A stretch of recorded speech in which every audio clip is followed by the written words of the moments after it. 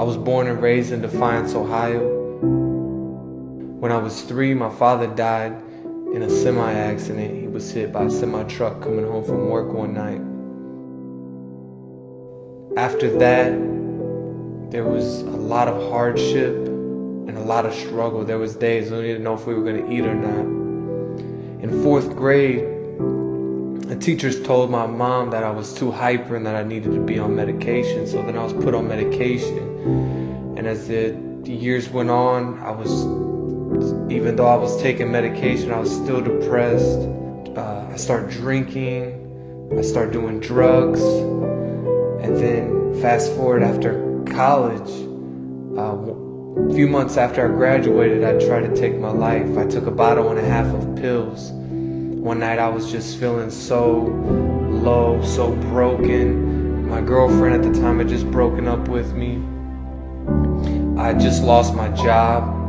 And I was just feeling so low and just, I just felt like there was no reason for me to be alive. And so I took a bottle and a half of pills and drank a bunch of alcohol then I drove to my friend's house. And I don't even remember driving there. It was a miracle that I even made it to my friend's house. But in the middle of the night, I woke up and remembered that I'd taken those pills and I tried to stand up and go to the bathroom, try to throw the pills up, but my legs were numb from all the effects of the medication. I couldn't stand up, so I had to crawl to the bathroom. When I got to the bathroom, I tried to throw the pills up, and that's the last thing I remember. I blacked out, went into a seizure.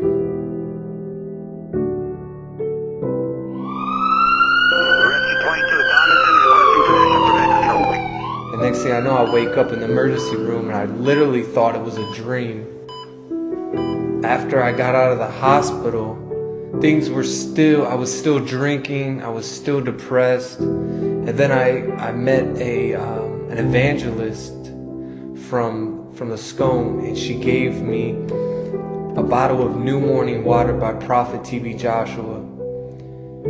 And I, when I got home, I began to administer to myself, began to um, apply it to myself every day, believing God for healing, believing God for deliverance. And I got that healing. A couple months later, I was able to throw the pills completely out. It's been almost six years now that I've taken medication. I feel free, I feel good. I used to be depressed, I used to be suicidal. Now I work full time for the Emmanuel TV USA team. And we work with all kinds of kids that grew up in, in, in hardship just like I did.